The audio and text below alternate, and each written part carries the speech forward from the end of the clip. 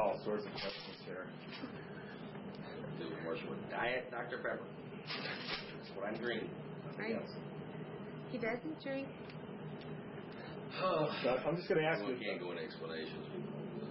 He doesn't chew. A lot of I'm gonna a lot of the stuff's gonna be out of order and stuff because later on it's gonna all be edited, and chopped up and And I'm edited. looking up this way because he's standing here right now. Uh, I'm nah. just letting everybody at home know this that's watching this. well, yeah, but you you know you're gonna keep turning toward Yes. You're so cameras wearing yeah, while standing right here. Well, it's a- okay. there. Um, and also tomorrow we're going to go to Smoky Mountain, so all those guys are going to do interviews about you. Um, Oh, boy. Ryan's arranging all that. I have a lot of, yeah. Yeah. Will it be about the business or about like, uh, what was he working Favorite for? Eddie story? No, Ed, Oh, Eddie stories or you know. Bad Eddie stories.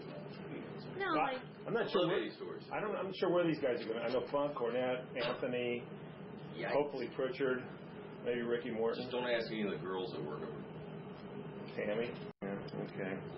Uh, let me go through a whole bunch of stuff here. It. Who did? Went out. The light went out. It? Yeah. Yeah. There, came on. Came on. It went out. Something, Yeah, there's a short, it went there's out. a short in the light. Nah. Short in the light. Slow down now. This one should last for about 15. Now we're 20 doing minutes. the making of. uh oh, no, you're gonna be. The making of. Okay. Uh, well, first off, why don't you give us a rundown of all your injuries from head to toe? You ain't got enough time. Really? No. Yeah. No, I just got some major places I hurt. Uh, let me look back here. I got uh, my neck area, which I hurt in the, in the car accident in 1983 and when I was in Allentown, Pennsylvania. I've got uh, bad right shoulder, horrible right shoulder, and uh, a torn rotator cuff. I got a like a half inch tear there that I've been putting off surgery on for a while uh, since since I left Atlanta in 1990, which it was a um, everybody had their opinion on the reason why I left. So I said I was hurt, and, and they had other explanations for me, but I was, and I just haven't been able to um, have the surgery done because I've been wrestling. And I thought, didn't think that's what I wanted to do at the time. So it's my shoulder, my neck area, uh, my back, of course, hip, and the light went out again. I don't know if that matters. You're kidding. Oh, This one there came on. See, there's just some kind of pressure there. Some kind of, so I I think it's okay if she, if she's, maybe if you keep pushing in on the batteries. just wonder I might have burned out the line. Well, we did. We're cool. We're doing the making of again. Well, make it Yeah, easier. this time, let me thank Dr. Pepper for sponsoring this. Diet, Dr. Pepper. See, if it goes out, I'm just going to move We got that the light light. fixed and we're back on. Okay. We're back on track. Okay. Okay, my neck area, my shoulder area, and the light went out again. This interview is not meant to be. It's- Everything's happening anyway. I was looking over at Fred, just in case you're all. It's The not light here. came on again. That's right. Forget it. No, Forget it. came- I ran with all the time. It was.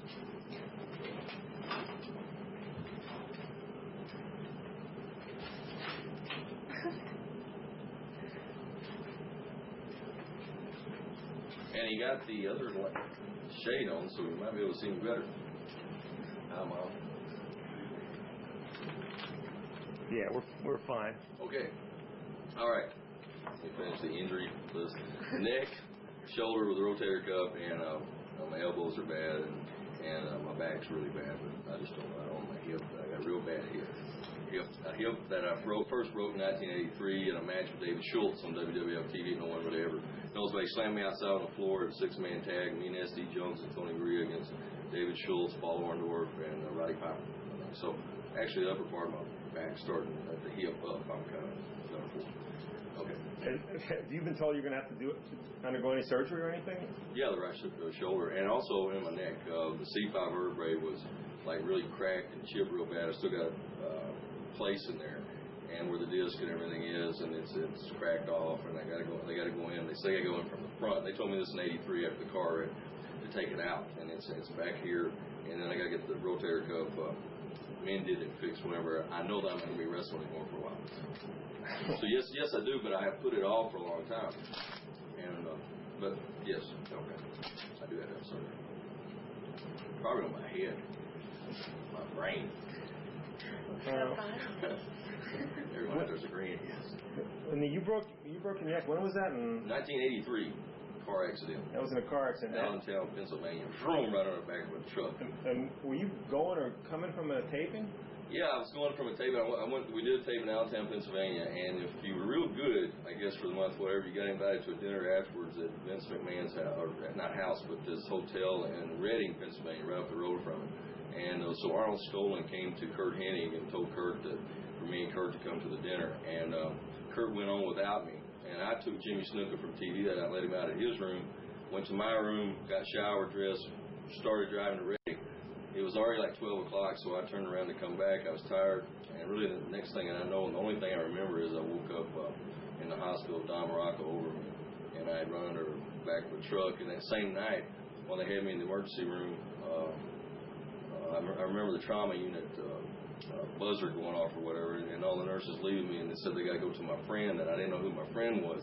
And like three days later, my mom and dad, after they got to Allentown, uh, told me that Jimmy Snuka's girlfriend had died that very same night. And uh, like uh, two minutes, like after they brought me in, they brought her in. That that was the night when they arrested Snook outside the hotel. That's right. That's right. Wow. No, that, that's a different story. Now, now, now they arrested Snuka one time in Utica, New York, uh, outside a hotel at Howard Johnson's. Uh, that That's was, the one when he was running around in the blanket. that's right. Yeah, that's right. That's exactly right. That's right. Like it took nine cops and they had dogs there, and he knocked them all down. Everything. It was, a, it was great. Great story. It wasn't great. It was a great story. I loved every minute. I was 21, having fun. So how mu- how much longer was it until um until they pulled the until Vince pulled the ankle Which angle? on, on WWF? With the neck? Yeah, Is that what you're yeah, saying? Okay. With Masked Superstar.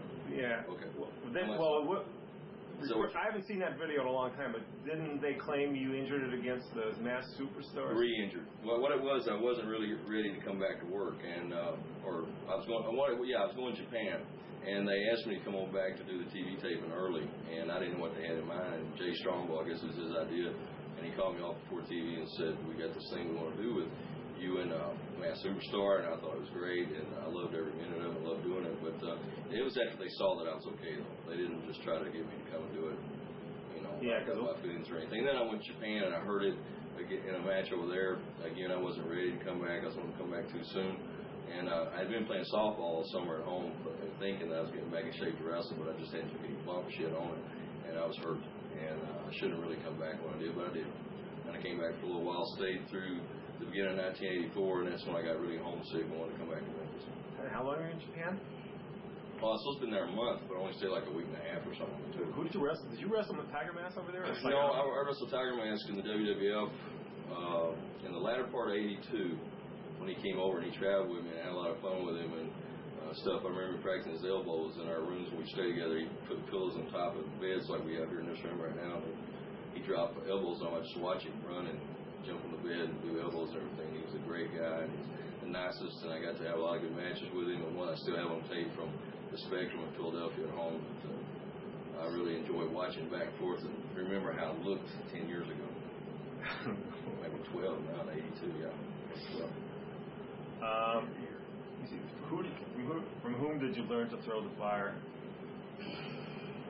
Watching a lot of ta- old tapes of the Sheik and uh, of course Lawler. I mean, watching Lawler do it, but uh, the Sheik. I mean, I always. Uh, I remember Saul Weingeroff, an old manager uh, back in the '60s and everything uh, in, in Tennessee area, that he threw the fire a lot, it always just got me. The fire. It was like, wow, it was the ultimate thing to do. And then Lawler started doing it, which increased it a little bit more, and then I took it upon myself more to do it. So, and I finally got Lawler to go for the idea of letting me fire him, so I to start using fire. Well, Got him to go for a few ideas. yeah, well, go, he shouldn't have. Sorry, Gary. go, going right to Lawler. Um, Ooh. one of the things we're gonna I'm gonna drop in is we're getting that luncheon you did for um, Good heart. Goodhart, where I Were guess you he shooting really pissed off Lawler. Yeah. Yeah. What's what's been your relationship with Lawler? I mean, how did what what, what was it like when it started, and how has it progressed or regressed through the years? Because you're intertwined with him for a long time. Yeah, yeah. I think I think it's I, I think probably best described as love hate. Working together and having fun, or we're just apart and. uh you know, we, you know, I'm in another area or somewhere like West Philadelphia, and we don't talk much or something like that. So, uh, but when we're together and really working together, it's, great. Uh, uh, it's fun to sit and talk to someone like that, especially someone you look up to and someone like you idolized as a kid. Okay, I've said it, and and uh, and I had to, yeah, let's get that on record. And uh, it is, and and uh, but I, I want to say this though about him too. Uh, I mean, the real idol of my life was my dad. I mean, I uh, really looked up to him. I mean, he was he was the guy that I remember first breaking into wrestling and everything. And Jerry Lawler came on as a as a thing at home to where I remember going to school and the kids always had that Lawler look on their face like want to be chewing their gum and saying I'm Jerry Lawler, the king. And so, you know, like I was sixth, seventh grade, I said, yeah, I'm gonna I'll be the king someday. I walk around school and I'm doing the look and I'm doing the strut and everything and I think, yeah, sure will. And so I got I started in with the Tommy Gilbert type uh, uh, kind of being shy type thing in wrestling, but I always thought I just needed to be the bad guy. So I wanted to be like Lawler. As soon as I got a chance to be the bad guy, to be the heel, I just took up doing Lawler and uh, and Terry Funk and a few others I look up to too. And and, uh, and my dad. So in my style, sometimes you'll see a Jerry Lawler, a Tommy Gilbert, a Terry Funk, a Jack Brisco, or uh, heck, even I remember watching Lou Thesz when I was a kid because he was just in his 60s or something. And that was whatever. 106, I don't know, but but whatever he is, he's still living. Way to go, Lou! And um, I don't mean that bad, but you know, forearm stuff. I learned the old style, the new style, and uh, with Jerry Lawler. I just want to make sure that I say that first off that he was like my hero. He, his picture did was on my wall when I was a kid, but on the on the sidewall, not on the ceiling. Now you're doing the, you're doing the book right now on the USWA, right? Doing what? You're you're writing the book right now on the USWA, right? Well, I, Doing the book? I, I'd say that I said it. You know, I, I have a good good uh, uh, picture of what's going on right now. Yeah. so that must mean Lawler's got a lot of respect for you.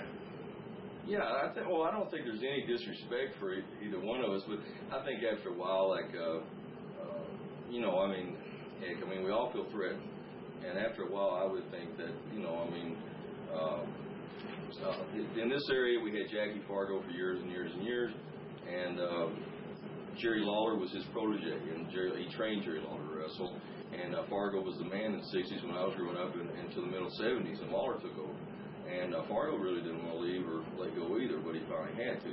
And so uh, I, I think Jerry Lawler is, is uh, he's had his great, great time in, in the wrestling business, had fun. He's done everything, won every championship. He's drawn more sellouts at the Mid South Coliseum than Elvis Presley. But sooner or later comes a time for change, and I think that is where there's a, you know some kind of uh, problem sometimes with us is that if he feels that the people are ever you know getting a little bit too far to Eddie's side or or, or over that line, then he wants to pull back and um, we have a problem. But other than that, everything is good. So there's no disrespect. No. And How does he feel about you running for uh, office right now? We haven't discussed that too much. We we uh, I really haven't discussed it too much with anybody in the wrestling business, and um, because first of all, I don't think they want to talk to me about it, and um, because they don't understand what it's about. So. Um, What, what, what are you running for first? I run for county court clerk, or county clerk they call it this year. Not really, and so That's a full time position, right? yeah, And what county? are you Henderson County, Lexington. in? What are you, what are your duties going to be? I get to marry people. That's one of my. Whoa. But I thought if I got to, if I got to talk to them too much, they probably would back out and not get married if I would explain to them a few things. But I, I think I think that uh, no, the job really carries. It does. I, I mean, really, that is the true. That's a shoot there. I'm, telling the truth on that part. I would be able to marry somebody if they came to me and said, "Andy, we want to get married." So anyone out there, if I were to get this, you come on down, I'll marry you up. You know, we'll have that weekend deal. You know, one prize take off. Yeah, Gil, Gilbert Hunting. That's right. Tour. Yep. You'll find me, Norman Bates. I call and uh, no, it's license tags. They, people will come to me get their license tags and, and they'll pay the wheel tags and everything. But uh, uh, but that's what it is. That's that's what the bachelor job is. But I hope someday to be state representative. We get that in. Oh, so you, so you have higher aspirations. Yes, I do, but I think just like wrestling, you got to start somewhere. And, you know, I wanted to be Booker when I got in wrestling. I knew at 17, and uh, no one was going to listen to me, so I had to wait till I was 25, which was uh, I was still one of the youngest to ever get the chance. So I was happy with that too. Wrestling is so big around here that you were running for office in this area, even though they all know you're a wrestler, doesn't uh, really get in the way of your running, does it? Well, I don't know. It's the first time uh, for something like this here these people. They're they're not uh, used to. A lot of them, I'm sure, at home right now, probably saying, um, "Want to stay wrestling? He's doing fine right now. Why does he want to get out?" That's the that's the number one question right now. Why do I want to get out? And um, they didn't expect it this soon, and, and, and stuff like that. But uh, I don't think anybody understands that. So, so. Yeah. Um, okay, well, let's go to. I watch a lot of C-SPAN. You know, yeah. Okay, well, a lot of people have asked me to ask you about the uh, split up of the new Fabs back in '84. Yeah. The, the Tommy Rich angle. You uh, you did an angle in the studio where the uh, wrestling fan convention, I think, was the Yeah, we got the trophies, and I said, "I'm sorry, Tommy, can come back, please. I love you." Yeah, and then he attacked you, right? No, well, he, he attacked me first, and I suckered him in by interview with saying I was really sorry and and that uh, I didn't mean it, and please accept my. But you were no, you were bleeding a gush. I was bleeding, yes, and wi- wiping my head. Lance Russell standing there, and Lance didn't believe me at first, and then he winds up saying, "Ah, I guess it takes a big man to admit when he's wrong." And I was wrong, I said. and then Tommy, uh, well, and that was one of the first angles that ever got done. That was my idea to use the uh, trophies from the uh, convention. See, that way we got the trophies as the tag team of the year. Plus, I got the blessing of the with it. So I got two things in there at once, uh, two ideas done. That was fun. Sucker and nippy. Yeah, and then he introduced the hell out of him. And then how long did that feud go on? Uh, I think about it was like four weeks, five weeks, something like that. And, and then I talked to the men to uh, the international belt Tommy had, and I talked them into that. So somehow in there, and then I took the international belt and went for about eight months. So um, just slowly, there was King Kong. Bundy here and Rick Rude, and then I was like third from the top as far as the heel side. And I had my little international belt, and I was wrestling Randy Savage and Lanny Poffo, and um, just trying to think of a couple others that threw in there. Terry Taylor came in for a little bit, and I wrestled him, and and and so that was an eight month there, and then then a strange thing happened. I don't know what your next question is, but please come with it if, if you. What was the strange Because I'm just running, I'm running in here so thinking things that ran into each other. So So got four hours a day. You can talk Okay, what happened? What happened there is that this was like my eight eight months of, of being the international champion, and Lawler had been doing his top program with like Rick Rude and King Kong Bundy, and then Rick Rude, uh, Bundy left, and then it was Rude, and all of a sudden I got the notch up. And I was going, wow, process elimination won't be long. I'll finally be there. Jimmy Hart was my manager, and I was real happy, and going, yeah, I went home getting to be a heel and. To do everything, but I, I still ain't got that atten- Lawler's attention yet to want to work the program with me. And then um, Rick Rude up and left for some reason, and so we went to uh, it was Nashville, Tennessee on a Saturday night, and Rude was gone, and so they sent word over to us for all of us to go out to the ring, uh, all the heels, uh, about seven of us I think on that side, and the way that they did everything, the interns were together, tag team, mass tag team. Roger Smith was one of them, and Eddie Marlin went to him and said. I want y'all to look like you're passing something out, you know, back and forth out there so the people will boo y'all, and we're going to have the people pick the person they hate the most to wrestle Lawler for the title in Nashville. And so we sat over there, and I didn't really think anything about it. And we got out there, and they did all their stuff and everything, and the people still picked me. And I got to wrestle Lawler that night, and he listened to the people, and then we they did that in each city, and each city the people picked me. And then on the interviews, I started saying that. Uh, uh, that I was the next king and this and this and this, and all of a sudden that started Lawler. How, how long did that go on until your next stop? For, for us, when I started Lawler, Yeah. it, it ended '84, started into '85, and then uh, Tom Renesto came in as Booker, and then I took off to uh, to Mid South, what later became UWF. About Yeah. March of '85, April '85, somewhere. I mean, what was your first big angle in Mid South?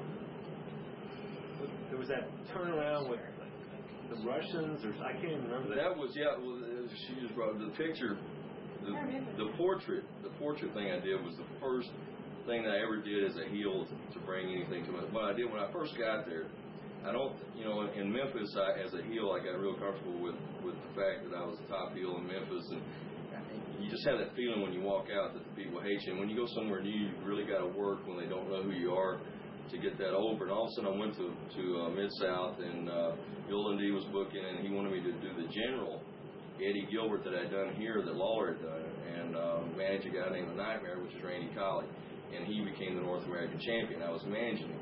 But I didn't really feel good in that role or anything, and then I wound up being a babyface for a little while, and really not really finding what my character was. And then uh, Jake Roberts is the one that had the idea. Jake Roberts had the idea that uh, all of a sudden I turn on the Fantastics and I get this portrait made of myself, but it was a rib on me is what it was because Jake said get it done and uh, whatever it costs, give the, the receipt to Bill Watts and he'll reimburse you. And it was four hundred and ninety-five dollars I think at the time. And I remember turning in and Bill laughed at me like three straight weeks gave it back to me, so I had to go in for five hundred dollars.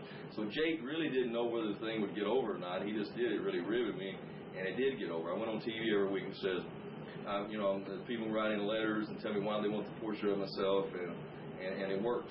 All of a sudden, I had this new character, and from there on, I got to going, and that was the first deal.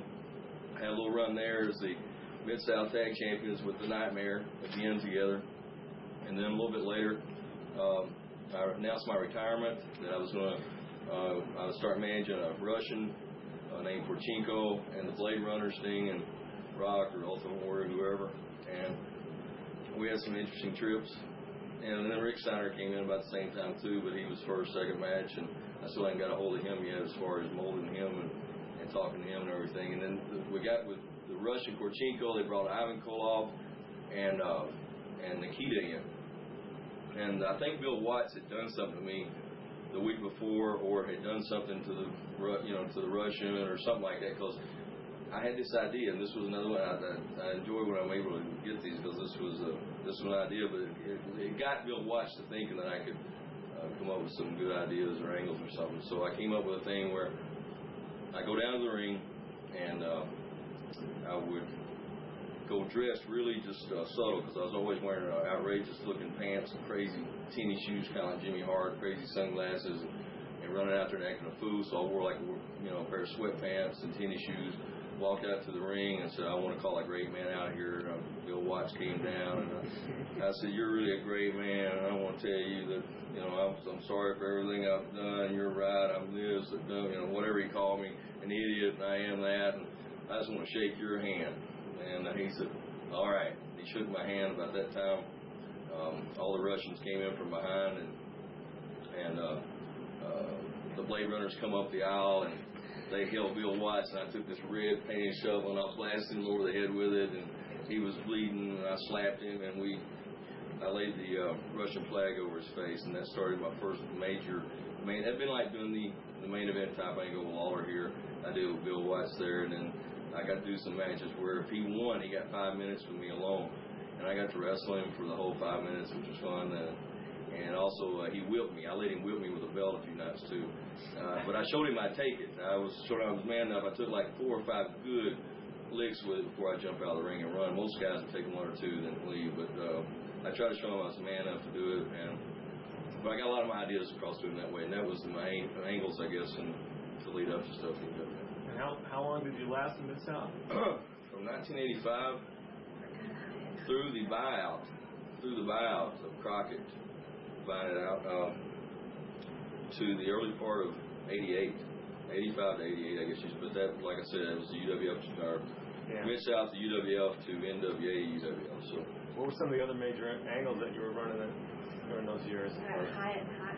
I'm going to drop in. I got a, I got a first generation on the on the turn turnaround with the Russians, so I'm going to drop that in there. okay, okay. Uh, Yeah, where did Missy come in? the the the Missy deal was uh, boy, I get a little fishy on this one because uh, it turned out it was like. Uh, By the way, I'm a divorce attorney, so you're okay. Okay, but it was no. This was funny. This, I mean, this whole this whole angle, this whole idea was actually really what was going on, and, and that's what the, it was. I mean, this when you see any of this tape stuff of, of what happened, then it was. I mean, it was real. It was Did going on. John? It was going on behind the scenes. Did she hit John with the bag? Was that real? I just don't want this on tape right here, please. Don't. I don't want. Say that for later. Yeah, I just let me just start right there right now. Oh.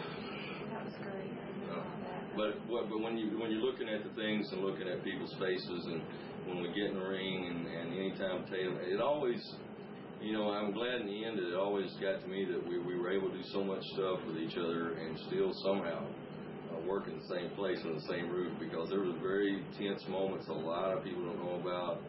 Um, at big arena shows like Houston. I remember one night a big thing happening. Uh, uh, Sting was wrestling Tatum and Missy was at ringside. I think uh, uh, something happened. Um, I was down. I, I had separate dressing away from John and those guys, and actually I was away from everybody. Uh, kind of like alienated uh, with her, and. Um, I didn't get to see what happened because I was at the back, and somehow or another he whacked her pretty good or something. And it was during the start of it, and and then she gets back. I mean, this kind of stuff went on, and and so the stories never got to be told. But but in the end of of, of me and Missy when we first met was. Uh, just like I don't, I tried to stay away from her when I first saw her. I didn't really want to be around her, and then I, from what I could tell, it was about the same. And, and we finally uh, I, I kind of just wandered into her room one night in Tulsa, Oklahoma after the matches. After, you ever see the tape where Sting and I won the UWF tag belts from the Fantastic where Missy hits Tommy Rogers with the purse and John Tatum with her? Well, that night was our first meeting after the matches. We, I was at La Quinta in Tulsa, Oklahoma, and I just kind of went out and Missy opened up her door, and there she was, and I just kind of walked in, and we got to talking, and one thing led another, and a few weeks later we were together. And, a lot of tense moments there. But that was uh, one of my favorite angles because it was a true life thing going on, on television, life imitating art, and art imitating life, and it was it was the real thing. And then the greatest thing of all was being able to come back and to Global a couple of years ago or a year ago and, and uh, be able to see John Tatum and work with him and almost feel in a funny way that we were some kind of like family. I don't know. Well, you've both you've both been through the Exactly. yeah, So, you've both been on the same ride. yeah. Yeah, it was fun. I had four good years, and uh, I don't uh, uh, regret anything. So, Well, now you met Missy. When was that? About eighty.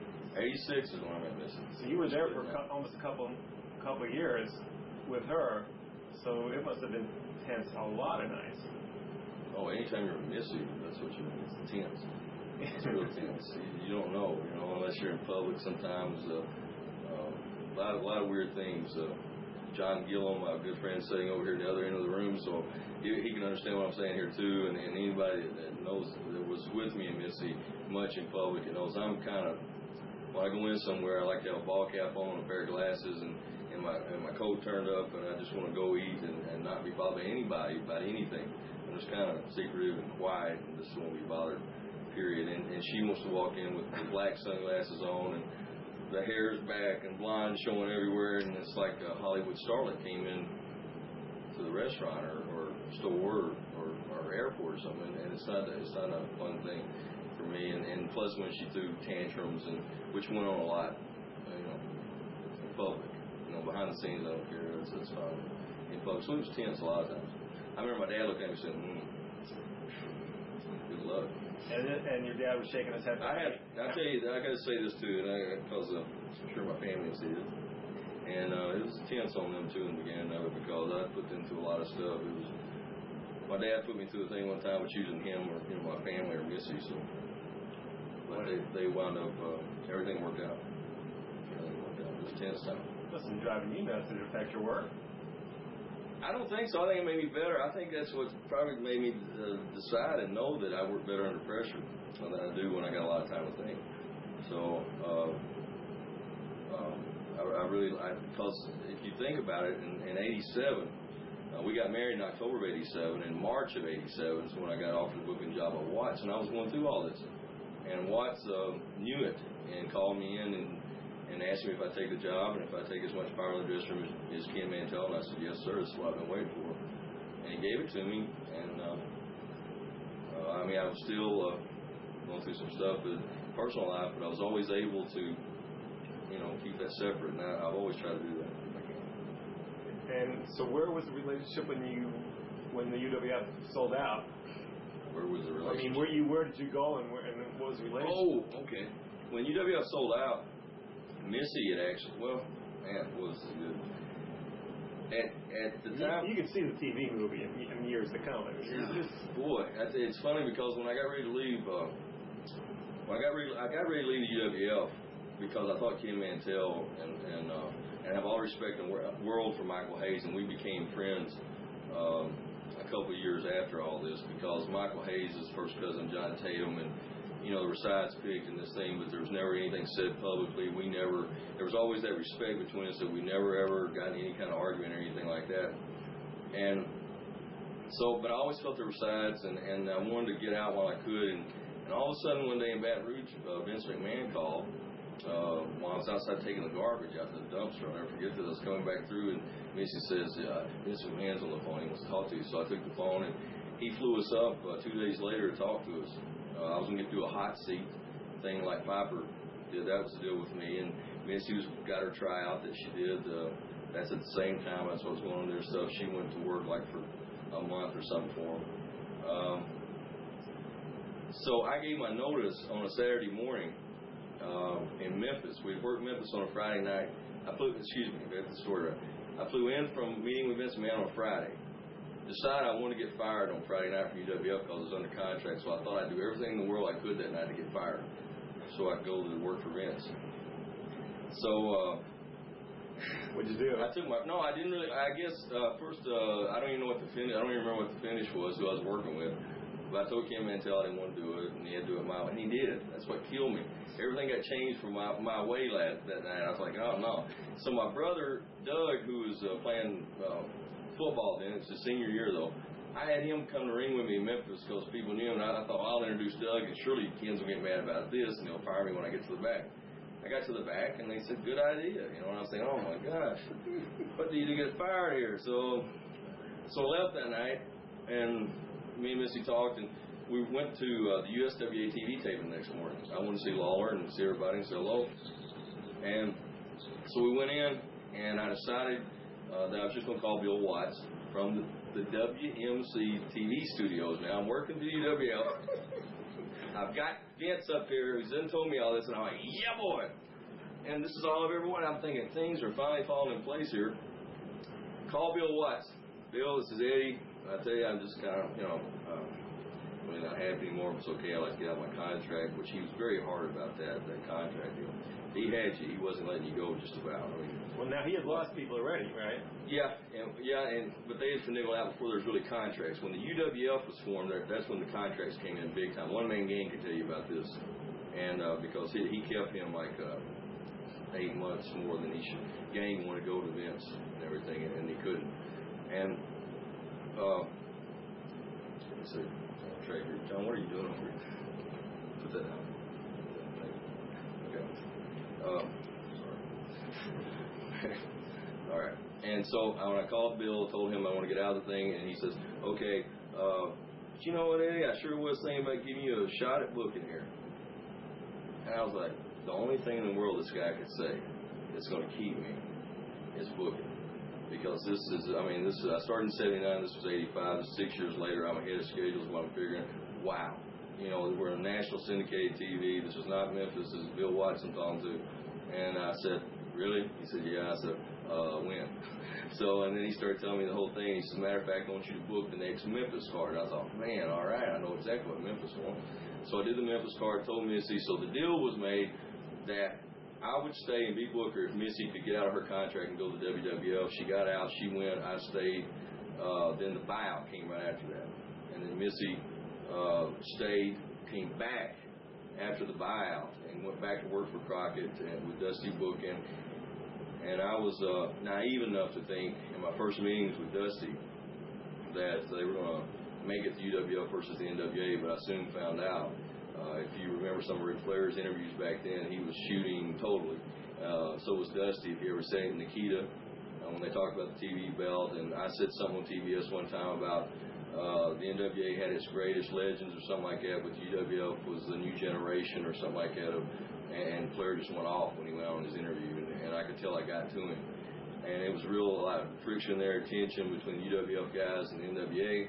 All of a sudden, I saw I used to be able to book my own cards for UWF even with the buyout, and then Dusty started faxing me the cards for um, the UWF to use, and I knew then it was the demise. And I finally got out in December of '87, and came and I came back to Memphis in about January of '88, and uh, that's where we did the fire angle with Lawler, where I came into the ring. Uh, Lawler was wrestling Tommy Rich, and my brother Doug hit the ring, and uh, I wasn't scheduled to be there at night. I came in my clothes on and threw the big fireball in Lawler's face, and that's when I talked him into going for the fire. Got to start doing the fire. So we came to Memphis, stayed three months. Got a call from Alabama. They said that they were new owner, wanted to change everything, and so they called me, and I said, yes, I'll go. and I went down there and booked for six months. But now, what happened to the relationship when she's she's working for Dusty and you're up in Memphis for three months? Oh, she came with me. Oh, she came with you. Yeah, yeah. She, her loyalty was there. Never, she she was with me through thick and thin during those times. So Okay, then you go to. uh, she came to Memphis and was just a valet, Missy High with me. I mean, you know, she went from that uh, star status of being with WCW, UWF to Memphis. She was okay. Went to Alabama. Uh, I made her commentator there with uh, Charlie Platt on on the show, and uh, uh, that way she she was doing her job, and that way I wasn't involved in the wrestling part. And I was able to book and, and everything. I liked Alabama too. I had good memories of Alabama. Who brought you down there? Um, Jack Curtis brought me down there, he was from the OUWF uh, um, crew there, I guess you'd say. So he was uh, Bill Watts had told him to call me about coming in, and, and I was real happy about that too, and it worked. Uh, we were successful. Uh, what was great was is that UWF when I took over, and I didn't know it. You know, at the time, that's what was funny, and I've said this a lot of different times, but most time that I was successful, I didn't really know I was. UWF, whenever we went on our first national tour, um, I remember Amarillo, Texas, was pulling up there, and there were cars all over the front. I said, it's got to be something else. And we got inside. Terry Taylor, who was probably my best friend then, he was the best man in my wedding with Missy, and and it took him and Missy telling me that that uh, we were successful, the gates were good, and that the TV was turned around. We were drawing people in Tulsa and Oklahoma City. Then the buyout came, which just totally got me. I thought, man. And then the thing with Dusty and the head games got me. I was getting really disinterested in the business or, or that those kind of games and came to Memphis. The fire angle worked. We saw Memphis jump back up again. So I was going into Alabama on a good high. Changed everything there. Changed it from being, um, uh, I think it was, uh, it was Continental Championship Wrestling, CCW or something like that. And we changed it to CWF Continental Wrestling Federation, so it'd be more into uh, like the UWF was and the WWF with the F there Federation. Uh, took all three belts, made one out of it one area champion. Oh, That's what I worked the whole time I was there towards was to have one champion. I had all the singles belts turn in, and uh, we worked to a big tournament. The Road to Birmingham is what we called it. The whole time I was there, and we worked up there. I never made it to the Road to Birmingham. Um, got right up there, but never made it to the finished product of my booking there because of the owner. And I had this little uh, didn't agree on a few things. So that was uh, the Alabama. How long was the run there? Six months. And that's where you were first with Paul Paul E. Yeah, Paul E. I, I knew that uh, Paul E. had, had uh, I'd seen Paul E. stuff, and I really enjoyed. I remember Paul. See, Paul was a photographer. Did interviews with me when he was like 13, when I was in WWF. When I was wrestling, I remember Paul from there. Paul Heyman. I remember being a photographer, and that uh, uh, I saw him a lot when I was up there at the matches and talked to him. And then he didn't he didn't know that whenever he got to the business, whenever he became Paulie Dangerous, that I didn't even remember who he was. And I saw him in Atlanta uh, here in '88. I came down to do a tape for Tommy Rich in Atlanta for, I think, for Blackwell then when he had his group going. And uh, Paul was there managing, and I and he came up to me, shake hands, and he was going to say Paul like that, and I said, I know who you are. You don't have to tell me. I, I remember you. And he said, Oh yeah, yeah. And I told him I liked his stuff, and um, so he said anytime that I, you know, I had a booking job, or if I ever wanted to bring him anywhere, please give him a call. And whenever I got to Alabama, I knew it needed a manager, um, a good one.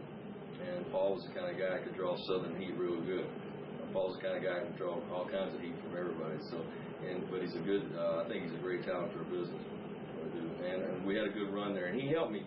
I had Paul. That's when I, I took Doug.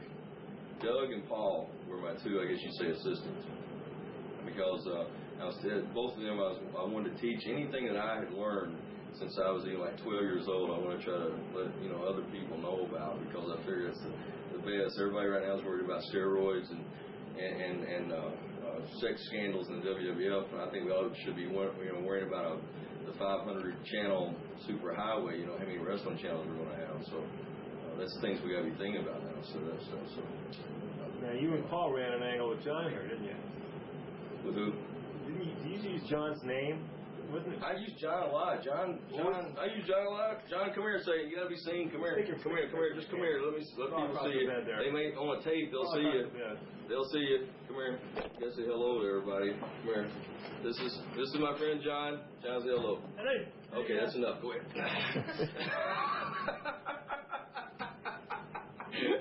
see now, if you do this back, and you have slow motion on your video machine there. You can slow it down. See John longer. But didn't you do it? Put on pause. I did a few angles with John I'd like to tell you about. And if you give John three beers, he'll tell you all of them. What about the one where, let me see, uh, you offer 10000 to anybody in the audience? That's right. That was the first one. Yeah, tell us about that. That was the first one. That was uh oh man, these these Alabama ones was was the best though, John. Uh, John, you can go back sit down now. Just you understand that. He has bad arthritis too. You know, he's been all driven Oh, yeah. top rope. He's been so so we used to go down. We did a thing uh, where I'd go down and say ten thousand dollars to anybody, any wrestler or wrestling fan that could beat me. It's kind of like the Andy Kaufman deal with the women, but I'd seen this deal done when I was a kid with, uh, like I was a junior, senior in high school. Adrian Adonis doing the ten thousand dollar Golden Challenge in Amarillo area. Any of you guys will look back at that and see what I'm talking about. So I remembered that and used that in Alabama because we had no belt to put up. So I took money and put it up. So I had six months building for the big belt thing, and then six months to use money as to put up instead of a belt. So I go down and I would pick, and man, you know, every week, every you know, you see these these these old farmers standing these big old boys, horses like Hoss Cartwright in the crowd, and women look like Hoss Cartwright in the crowd, and it was real ugly women, but big ones. They wanted to fight me and get in the ring. And so one week, what we did was have John Gillum sit in the front row with this farmer's looking shirt on, kind of like he really wears, and uh, his ball cap and his glasses and everything. And he said a pair of jeans and boots on, I think it was. I think he had a T-shirt on, didn't he? So, uh, I'm trying to remember everything. So Paul says, anybody in the crowd, everybody stands up. Oh, this is on TV. We have this on tape. You know, however it's good. But we're sitting there, we're looking around the crowd, and we got the camera panning. There's this big men, there's these big women. They all want to get in the ring. And all of a sudden, we pick John Gillum, but we don't know it's John Gillum. We pick John.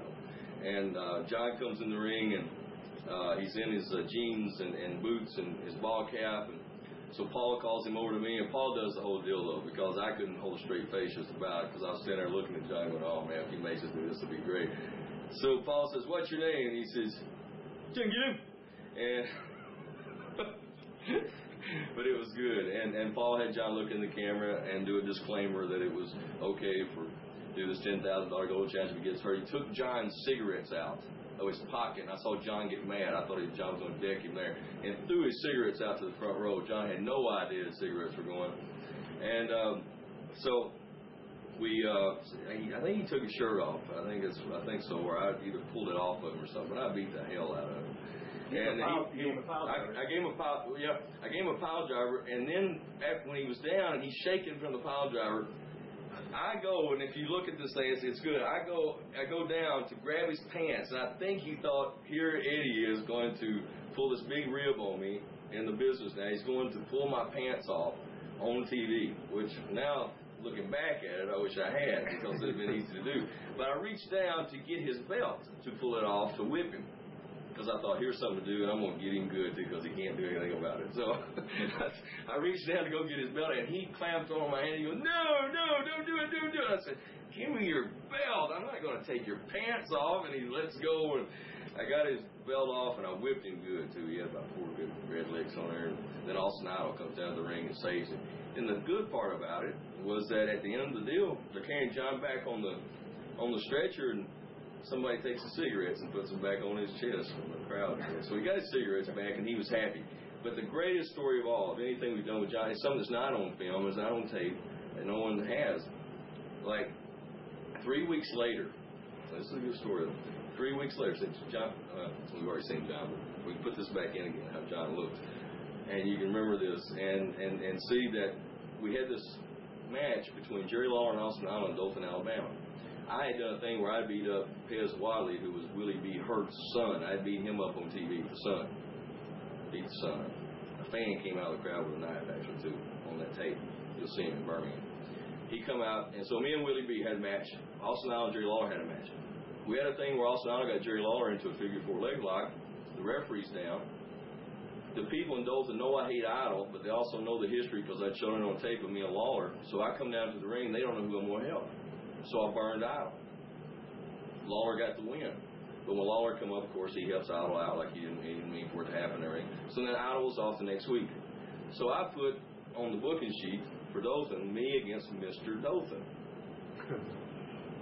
So all week long, especially Jerry Stubbs, who was Mr. Olympia or whatever he was there, he come, who, who, am I Mr. Dothan? You're just changing my name. Everybody wanted to know if they were Mr. Dothan. And on the interview, I said Bob Armstrong and Ron Fuller and Robert Fuller and Jerry Lawler may be coming back under the mask as Mr. Dothan, or it could be Austin Idol. And so all week long, the boys were asking me. Then it got to where towards the weekend, towards Saturday night, Missy got to asking me about it. Well, who are you going to put in? I said, well, I got somebody in mind. I'm not going to tell you now. You won't believe it. You'll think I'm nuts. And uh, so then Doug came to me like Saturday afternoon and said, by the way, who's Mr. Dothan? I said, I'll let you know when I it's a, surprise. Then Paul, on the way to Dothan, says, Eddie, you hadn't said a word about Mr. Dothan all week. You hadn't said about all day. Who is it? I don't even know. You're keeping me in the dark on the thing. It's okay enough for Missy, I see. I don't understand with Doug, but why, why keep me in the dark? So I told him, I said, you won't believe it when, when we do it, and I'll just wait till we get ready to do it because you're going to call me crazy. So in the meantime, I already, already talked to someone, though, when I get to the to what happened, so you understand that all this was actually set up in my mind, and I'd already taken care of a few things before this, and I didn't actually put my job on line like looked like for about 10 minutes. So we get to the building. Everybody's looking around. Is anybody new in the building, in the dressing room? Is anybody new there that we figure is going to wear a mask, be Mr. Dothan, or someone come in with the mask on saying they're Mr. Dothan? Now everyone's coming into my room in Dothan saying, okay, who is it? Don't, don't know. We get to know, and we hit the ring, Doug's asked me, Paul. I said, go get John Gillum. And what I want you, and they went, and Paul, Paul, seriously, I mean, I think you ask Paul that now, he will tell you that, that, I mean, he thought that night that you might as well just just lock me up. I mean, I had just lost it. I mean, now I was, we had sold Dothan out. Now I got to say this too. We sold it out the week before. It was the first ten thousand dollar. It was like ten thousand eight hundred dollars, and we I had taken it from doing twelve hundred dollars on a Saturday night to doing ten thousand dollars on a Saturday night. Great feeling. Come back the next week, we over, went over 11 with some Mr. Dothan. Turn people away. We got John Gillum. Now, I've got into the back. And everybody's looking at me, and Missy's even going, ah, you're nuts. You're crazy? You better not do this. These people will die if you do this. I said, well, I'm not going to send him out there the way he is. I want. I, I, I sent Paul and Doug, and everybody went to Danny Davis and Ken Wayne, and we got, and I'm not sure. I think it's Ken Wayne's boots, Danny Davis's tights, Jerry Stubbs' mask is Mr. Olympia. Uh, he wore a Austin Idol T-shirt, um, and he was covered. Everything was covered. He had tight, but he had everybody else's on, but no one knew that in the crowd. So you know, Mr. Olympia's mask and everything. This is a little tribute for everyone from that night. And so I went to the ring with Paul. Everybody's wondering. Now the boys, some of them still know, don't know.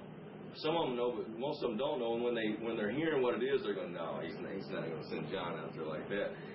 So me and Paul get in the ring, and all of a sudden they start this music, dun, dun, dun, dun, dun, dun, dun, and all of a sudden here comes this mask guy walking to the ring.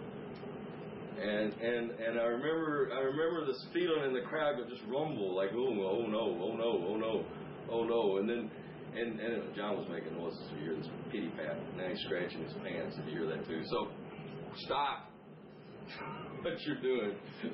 see, don't you see why I beat the hell out of him?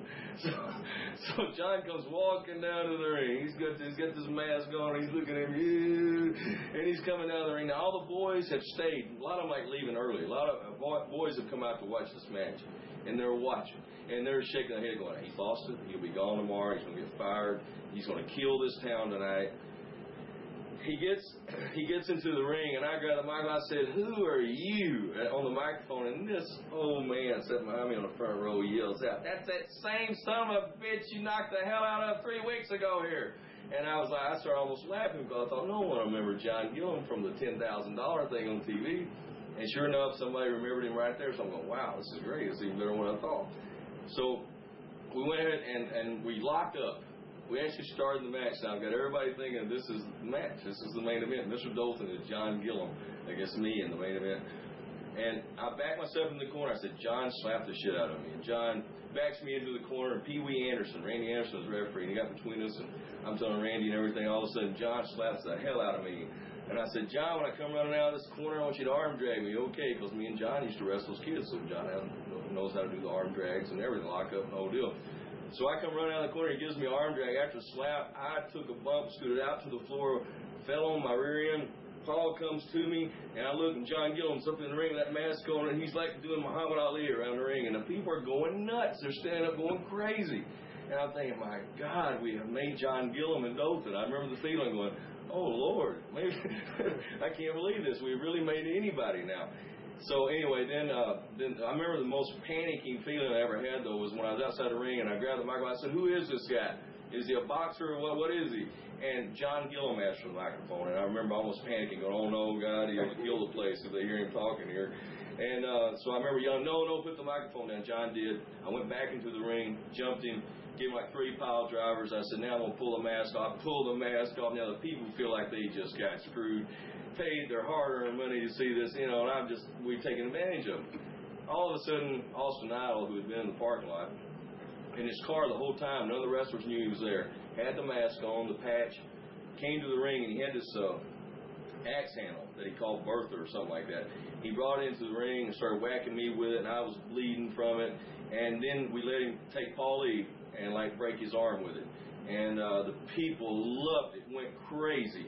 And and uh, and Dothan stayed up from there. And I went back back home that night, and everybody couldn't believe it. That and John Gillum left the ring with Austin Idol. The people loved him uh, because Idol, in the end, kicked the tire at us, and the people loved it and left there happy. And that's the reason why I messed with him at the start of it. It was mind games with the wrestlers because you find out then who your stooges are, who's going to go behind your back and knife you in the back. So Monday morning, I was in the office for David Woods to come in to say after about 10 minutes of our meeting, and he goes, By the way, I heard John Gillum worked the main event in Dothan. And I said, Yeah.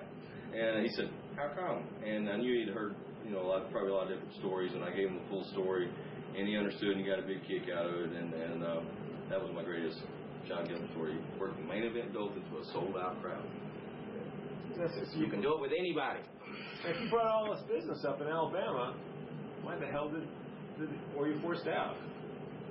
Uh, the, the the worst problem in our business is that is, is that it's like right now what's going on is that the reasons why like everyone's happy and I'm, I'm talking about everyone I think everyone out there knows what I'm talking about is people want to knock uh, Vince McMahon or knock our business or knock Ted Turner um, uh, you know who he's hiring and whatever and we're so into that that we don't uh, and, and guys it's just like the guys in our business are always hoping that this booker come, you know, if this booker that comes in doesn't do exactly with that person what they think should be done, well, they're going to knock him in the back and let's get somebody else in here. And, and that struggle, that power struggle, goes on from day one when the booker takes over.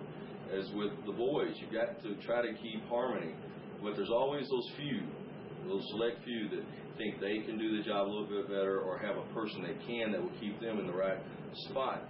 Uh, it had grown there. I guess uh, I think David Woods thought that I had gotten too independent, uh, but that's just the way I work. That's not anything. That's nothing personal. Uh, I, I think David Woods. I think a year later, me and him talked and everything. He said he had known me like he he, be, he become to know me after I worked for him, that he would understand that. But I like to be left alone and. and uh, Really not be bothered by uh, George Steinbrenner type owners that want to have hands on. I'm better off just being left alone. Bill Watts did that when he gave me the job. He never I never heard a word from him or anything. But that's um, the reason. I think it's power, um, other people greedy, and um, get, business fell off pretty quick after you left. uh, he he had to fold up like four months later. I think so. well, didn't he catch? Didn't he get a clue after you know a couple of months? Yeah, I had an idea when I was before I went back. See, after uh, no, before I went back to Memphis in '90, uh, when I when I felt that that my time, my tenure with the booking committee in WCW was coming to an end, I made a, a proposal to David Woods that I would come back and that uh, he and I talked about this thing, and I think it was another deal too. I want to be half owner.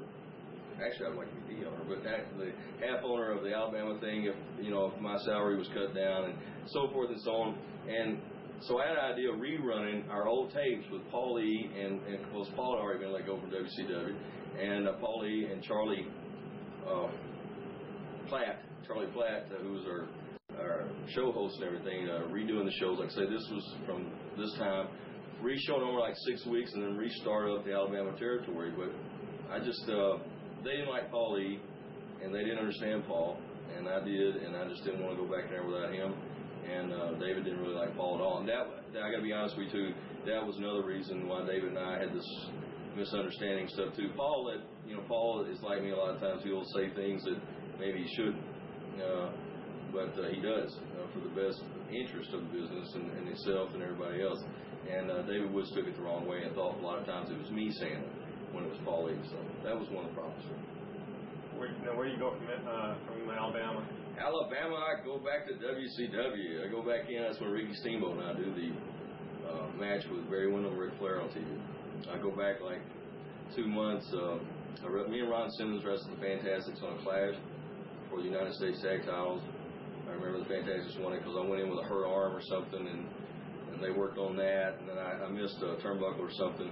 And that night, though, I found out before I went the ring, Jimmy Crockett told me that Ricky Steamboat was coming in, and Ric Flair wanted to work a program with me. That made my night. And uh, worked with Barry Windham, and I was real happy about that too. I've always had respect for Barry. And uh, so I went from that thing with the Fantastics to uh, working the thing with Ric Flair and Barry Windham on TBS. Brought Ricky Steamboat in as my partner, and uh, we were together till uh, see I think George Scott came in and took over the booking. Then I became Rick Steiner's tag team partner, and we got the U.S. tag belts. Missy was managing us, and not long after that's when George Scott was let go. The booking committee was put together, and we hear some people yelling outside the room right now. But the booking committee was put together. I got a call to be on that with uh, some other good gentlemen and uh, conflict of personalities. And uh, we went from there with the committee. And, and, and I kind of withdrew myself from the road as far as wrestling because I knew then that I really wanted to be in the office more than on the road. And that was in the latter part of 89, I guess. March of 89 is when I got on the booking committee. Came off the booking committee in about November, December of 89. And uh, wound up coming back to Memphis in 90. How long was that stay? Wow. That was long. That was tired that, that was until uh, well that sort of went into the Goodhart.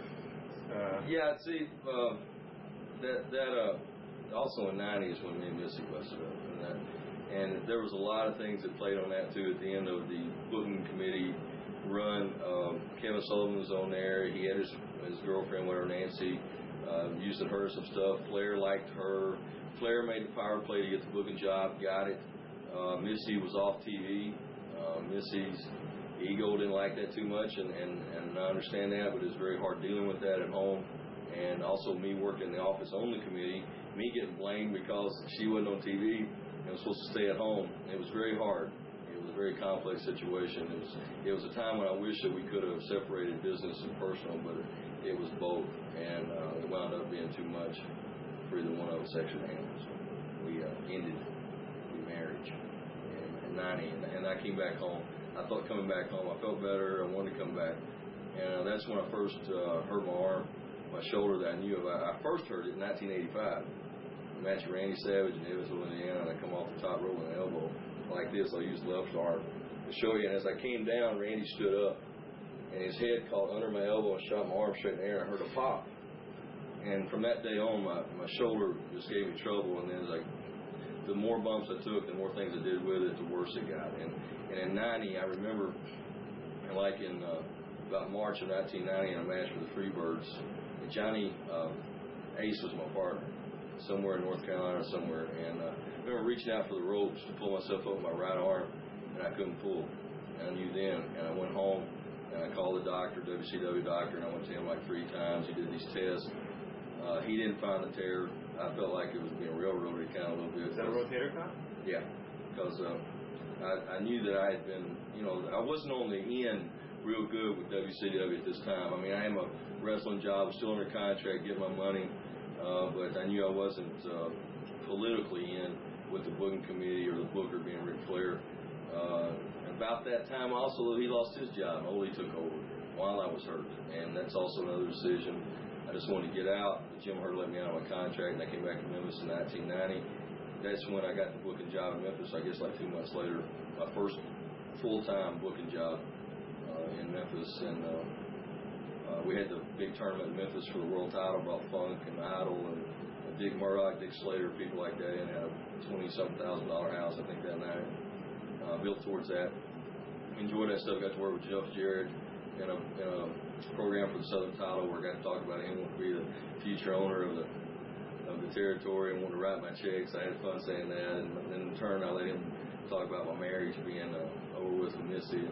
So we we had a few people believing us, I think, and I enjoyed that. And then I got to work with Lawler again, and that's when we did the car angle. And I remember, Yeah. I remember, I gotta tell this story. He may not ever say it's true, but it's but it's funny though because I remember we was leaving Louisville one day. We was leaving Louisville one day, and and he had pulled up this place to eat and, or get gas, and I was behind him. And I got out. I said, "Can I ride with you a ways?" And, and Doug drove or something, and, and John I think was with us too. And I rode Lawler. And we was thinking about stuff to do that hadn't been done in Memphis. That's very hard. I mean, unless you just shoot somebody. And I think I may have something coming up. No, but but I think That's Oneida. yeah, yeah. I think maybe you know now. I mean, we laughed about stuff like that, and I was just sitting there thinking. We was thinking. We was looking out the window, and I remember we almost got all the way to Evansville, and still nothing really come out. And I just remember looking out the window and going, because he said, even if we got outside the studio, and I said, yeah, so what can we do? Because I already done a thing where I body slammed him through the windshield back in '88 there in a parking lot Broadway. So I couldn't do that, and so I was thinking. I said, you know would be really great? And I remember just looking, I said, now you may think I'm crazy. And I used that, that line from Terry Funk when he tells you an idea. You may think I'm crazy. And, but I said, you may think I'm crazy with this, but I think, you know, if I came at you with a car, do you think you could jump in time? You know, like, it looked good, it looked good. I'm going, it look good, it look good, it look good. I'm telling you, it looked good. And he went, you know what? When I was in high school, I did that as a stunt one time, and I went, wow. I'm going, he's yes, he's going to go for this, and and he did, and he went for it, and we. Another good trivia thing is this too. You can ask Brian Lee this story because he was there at TV that morning. I driven my 4Runner Toyota pickup truck that I have uh, to the TV, so naturally we couldn't do the do the run over with my truck because it's too high and it just went over Jerry. So there really wouldn't be an angle after that. I'd be in prison. And be my last angle. So, um, so beforehand, I, I'm going. I need a car. I need a car. I need... So I go to Brian Lee. Doug had talked to Brian, and they'd been real good friends. I didn't really know Brian that well. And, Brian, can I borrow your car? Yeah, man. It's not really my car, but it's my girlfriend's car, and, and or, somebody's car. I just want to say some person's car. I don't you know, whatever.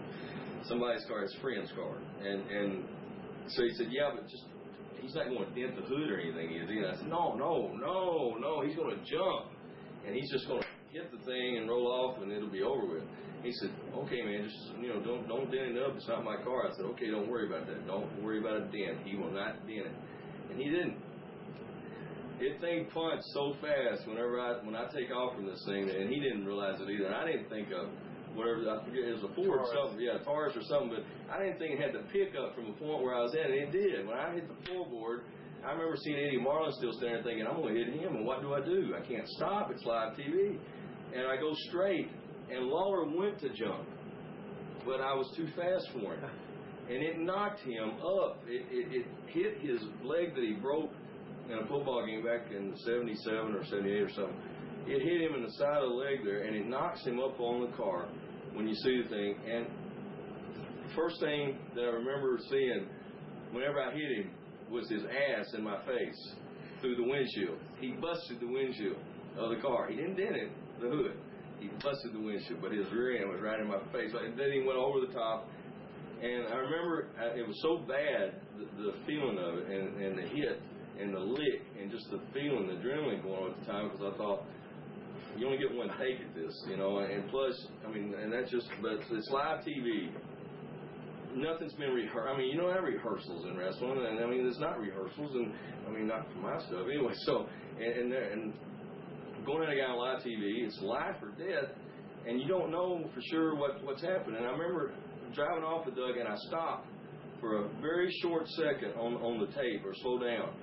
And what I say to Doug is, "Do you think he's okay?" And Doug turns around and looks and says, "I think you killed him." And I remember like, "Oh no!" And I drove on off, and I, dr- I drove on off, and we pulled out of the parking lot. We went up, and there was like a Pancho's Mexican restaurant, like two blocks up. And the and the winch, and I'm and I, now by now I'm going. What do we tell Brian? You know, what do we say to Brian? Broke. He's gonna kill me. You know, I'm not worried now. Down. I killed the guy, and I got the windshield taken care of. This guy's gonna, be dead either way here.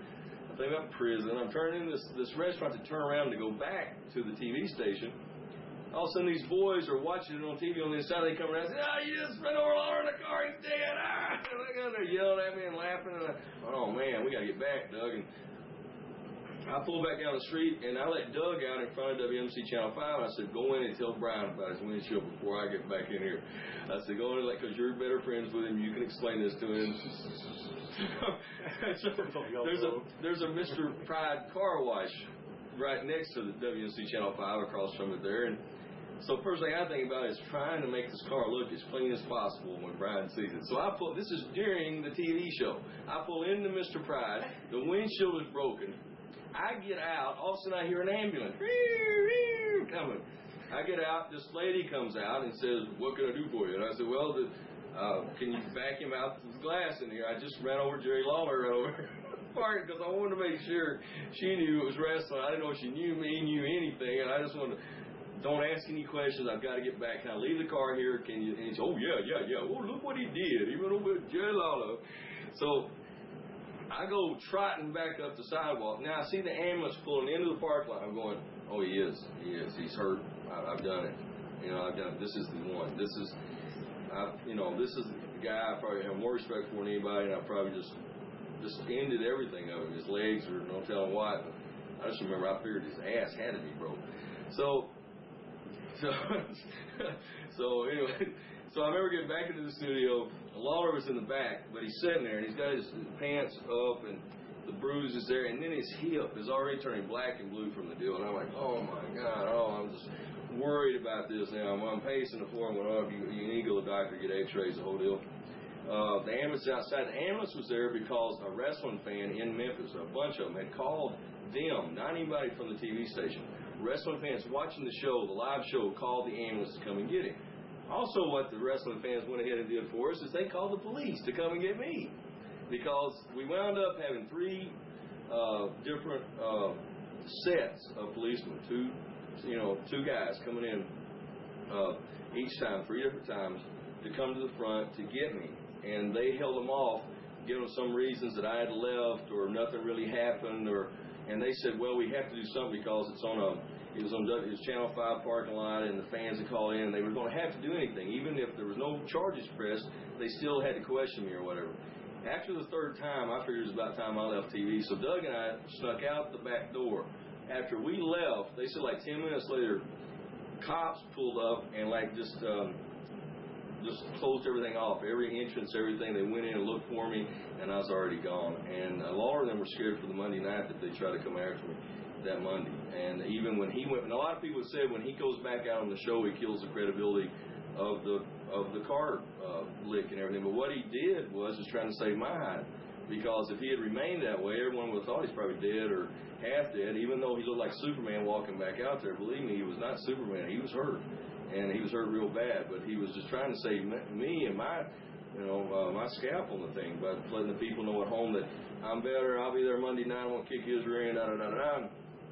So the, when I look back at it, I wish too that he had taken off like two months. you know, and I even said even if I had to go to jail for a week, if it get a wrestling angle over publicity of and everything, I'd just about do anything for business. I'd have stayed in jail seven days if it if it would have done the right business. I would have done it. So you heard it here first. Okay, that was the car angle.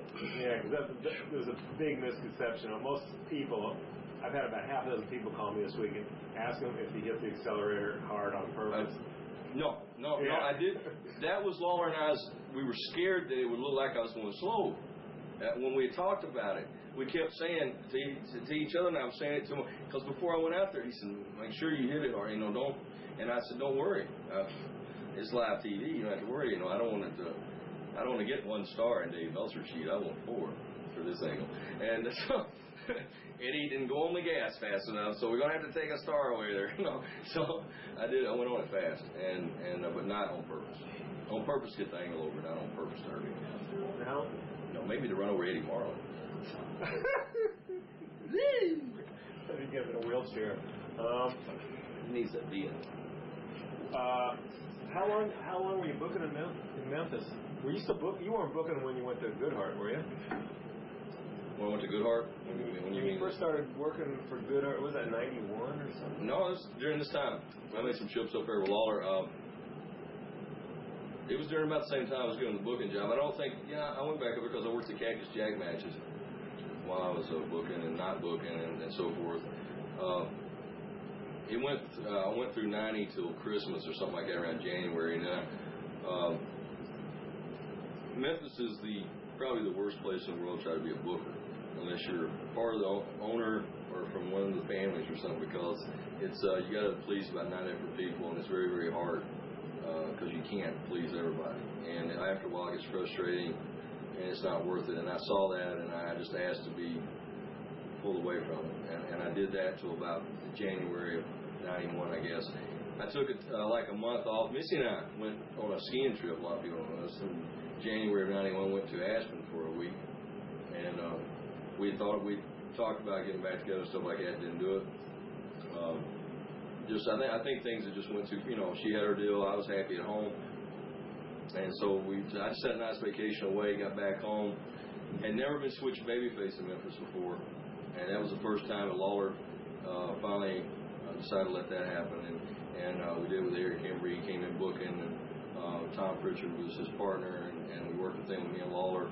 And we had never been partners before, and Lawler and I only did it for a week or something as partners or something. So uh, that was the first time for that. I don't remember where we're at now. Well, that's all right. Look, we go to, I want to talk about the Goodhart shows. Okay, Cactus Jack. we're in 91. Did you? Did I mean? You must have known the first match with Jack that you guys had this. Was, No, we didn't. I'm Yeah. glad you brought that. that you're great. That's great. You're natural. He's a natural. The first match that he and I had, and if you ask him this, he'll tell you if he really thinks back about it. The first match that we had was like a 15 minute draw, I think, in Philadelphia. The first match, it stunk. It was the worst match I probably. And going out there in front of the hardcores and knowing what kind of match you got to have. And, and what was funny was that Jack or I neither did neither one of us knew whether we were babyface or heel in Philadelphia because when I came back up, I, the last they had seen me, I was a babyface in Atlanta.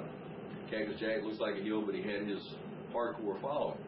And uh, so it was like split, and we weren't working the right way. We were just having a regular match. We didn't know what was yet to come until the first time that we were booked in a gimmick match, and that's what we asked to be booked in, whatever that was the next time. I'm trying to remember what that was. The first of the series, whatever that was. So much of it. So when we came back in our first gimmick match, it's when we took off and we, we were just able to kill each other and go all over the building and whatever came next. We we just went with it. If I saw him with an umbrella and he was about to hit me, he just hit me. If he, we got up on a table and he picked me up for a pile driver, it was just coming. Uh, whether the table stayed there when he come down, a lot of times it didn't. It just went down through. Uh, okay, but what about when you dump the trash can? You pick up a bottle. Yeah, that was our. Oh man. Because it looked like you were thinking for half a second. Should I or shouldn't I? Good. I did a good job. No, it, that that was uh that was another time too that we always try to think about what uh, what can you do that haven't been done and stuff like that. And uh, everything about that was uh, very much uh, that was a it was a wine cooler bottle. So if you know, you know how hard those things are, uh, that's how hard it went over his head. Because what I had to worry about when I hit him with it was to make sure uh, that I hit him hard enough that it did break. And that was what I took the time out looking a couple.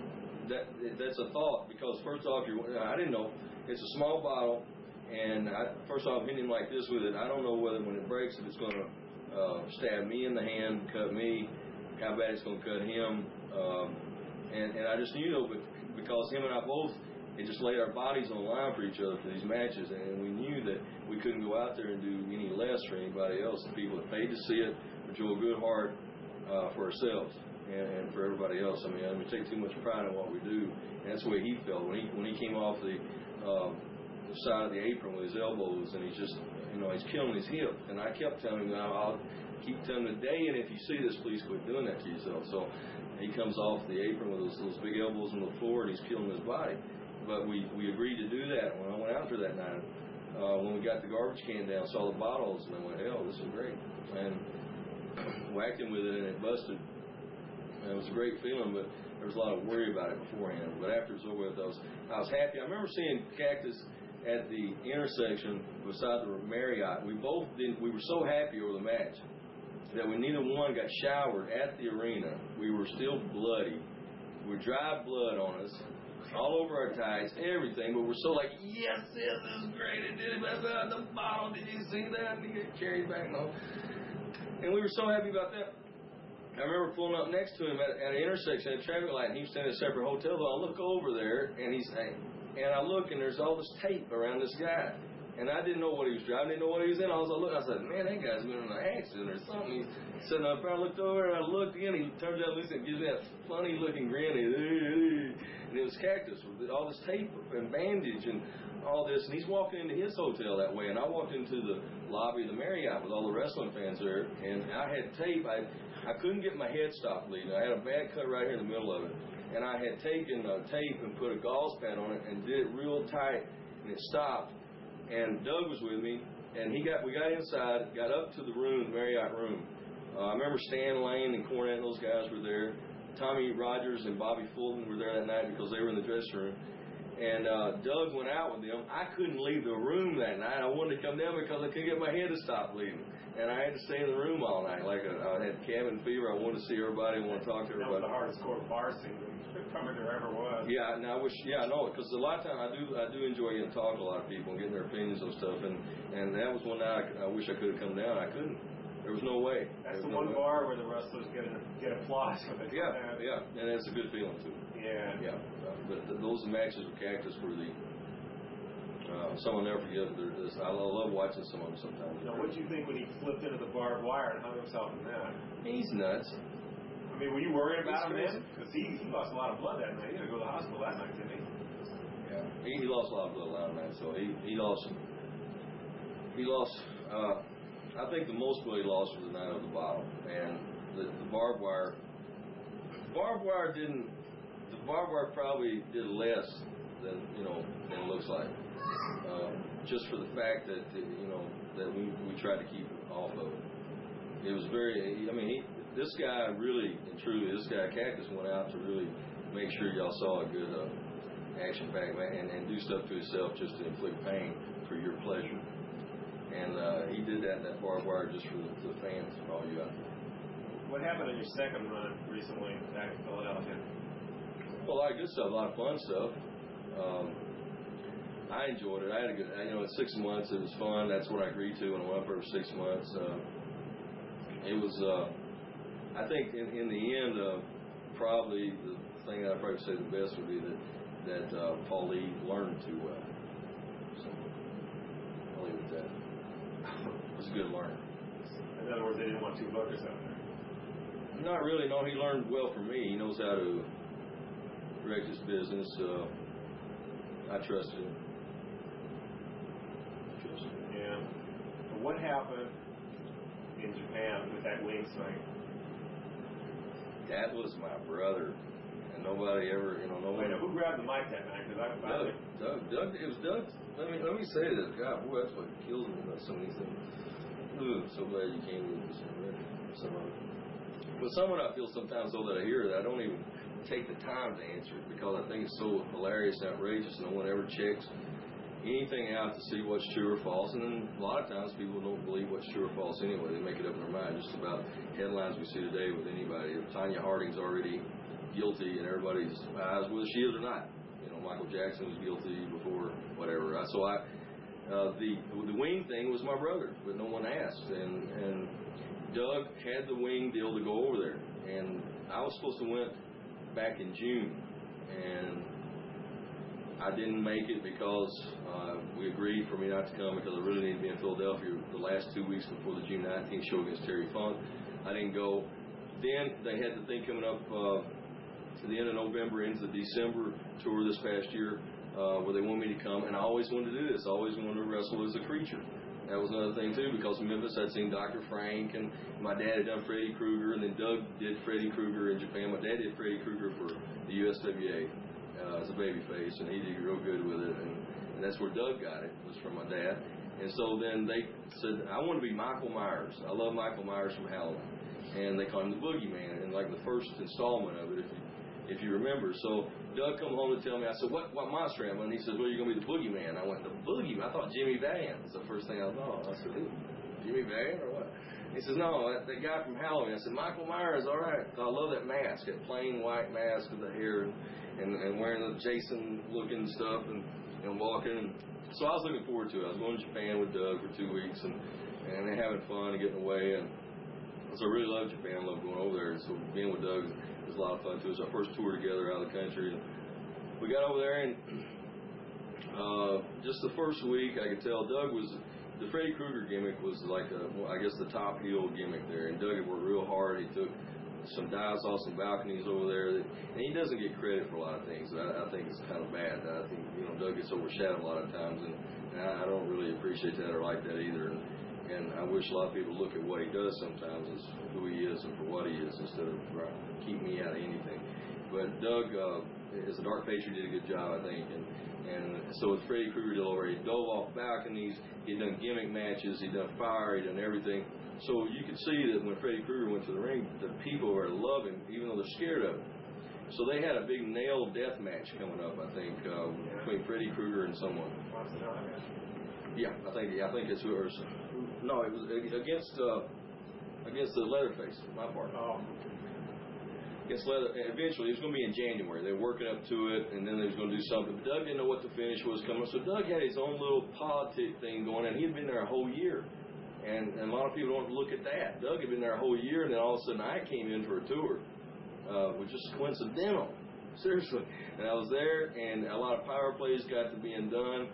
Um, I remember one night, I I do like to rib, I like to joke, and I do things. So if a promoter comes to me and tells me, like, you know, uh, make sure you don't give this gesture in the ring. Well, the first thing I do when I get in the ring is give this gesture. So, I mean, that's the way I've always been, but a lot of people know that.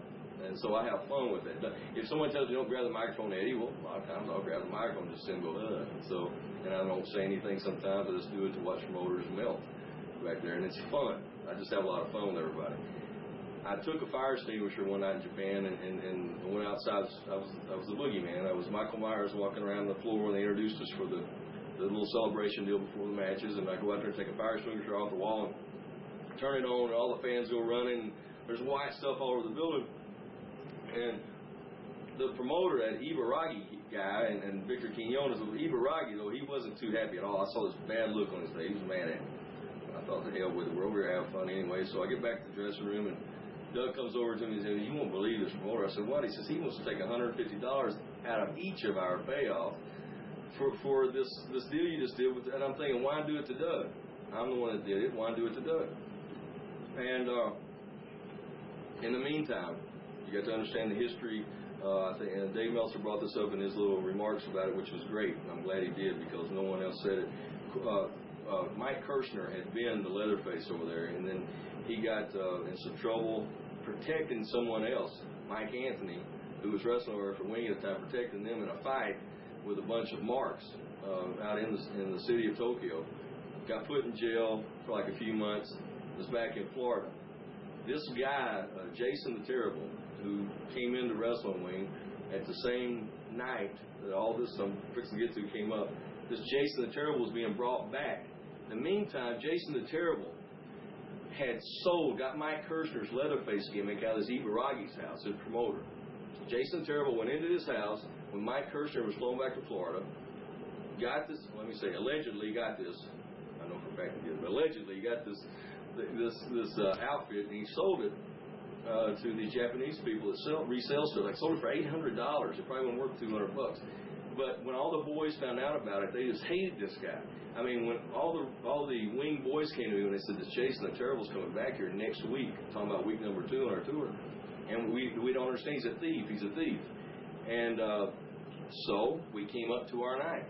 This night that, that all this happened, this tag match. It was myself and Leatherface against Freddy Krueger and uh, uh, the Tales from the Crypt thing. Uh, this monster deal. I can't remember the other thing, but this, you should watch Tales from Crypt. Crypt Keeper. Crypt Keeper, yes, Crypt, yeah, Crypt Keeper. So Freddy Krueger's partner. And also this night, Jason the Terrible is his first night back in. His partner is a, is a good Japanese guy there, and I can't remember his name, but he's one of the best ones to us. And I called him Jackie Fargo while I was there because he just reminded me of Jackie Fargo, and I, and I said that to him, and we had a good relationship, good rapport, and everything. And, and this guy and Jason the Terrible were booked against the Moondogs, and Doug had got the Moondogs booked on the tour with us. And, it was a real personal thing to Doug because Mike Kirchner was real close to Doug, and they got to be close friends while they were over there. Looked out for each other's back. Doug had told me all this stuff. Jason Terrible was coming back in, who had no business being there. Of the guys liked him.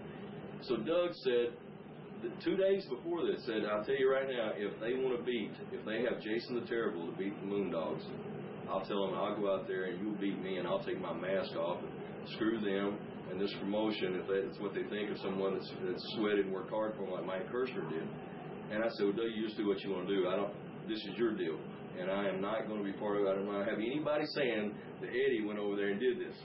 And that's exactly what wound up happening. But that night of the show, Jason the Terrible comes in the dressing room, shakes hands with everybody, leaves the room. I'm man, I sure hope they don't do what, you know, because I know Doug, and he's already said for a fact that if they do this, he, he's had it.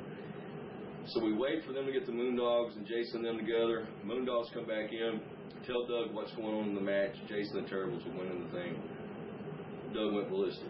He said, where's the Ibaragi at? And so Doug got up. He went to Ibaragi, told him the whole thing. He said, well, I don't know why. Why a piece of shit Jason the Terrible come back here and you treat him like you do? And da, da, da. I was there. I heard the conversation, so did the Moondogs. And this Ibaragi had no answer at all. Didn't, you know, so things are fixed now or something. Doug said, maybe with y'all, but not with me. And Doug says, I, if he if he wins, they could have had the Jackie Fargo guy win. That's what I'm trying to say here too. If Jason the Terrible wins the tag match, I'm going out there and pulling my mask off. Me, Rocky just kind of laughed at him. Yeah, I know you won't. And I thought, oh man, don't say that. And the guy left, and Doug looked at me and said, you know what to do? And I went. And the last thing I said to Doug in the hallway before we went out, I was going to my right, Doug was going to my left to go out his way, and I said, "Are you sure this is what you want to do?" And he said, "Yes." And I said, "Well, I'm with you then." Because uh, not one, you know, we don't do things separate, and uh, there's loyalty both ways. We're family, and, and we, you know, always stay there somehow. So when I saw him when he came in the ring, and then I grabbed him, and uh, I went for a, uh, see what was it first? I think we went for a small package first, or sunset, one or the other. Sunset flip, I think sunset flip first. The referee wouldn't go down for the count. I think that they had already told him that if Freddy Krueger goes get beat, don't go down for the count. And he got up and went towards Leatherface and Crypt Keeper outside the ring. And all the boys knew what was happening just about. And the referee didn't go down for the first time. We came right up, and Doug's cussing. I, I, I always laugh now. I tell the stories of Doug cussing while he's going backwards. Count me this time or whatever, and because he was so mad. And uh, I think the next time I saw him packaged but it was one of the other first and the other second. And the one, two, three came, and Doug come up, and they started playing music, and uh, Freddy Krueger never been beat. And then all of a sudden we beat him in the deal. Doug had done it for me for no reason. I first tour I'd been there, Boogie Man, big deal.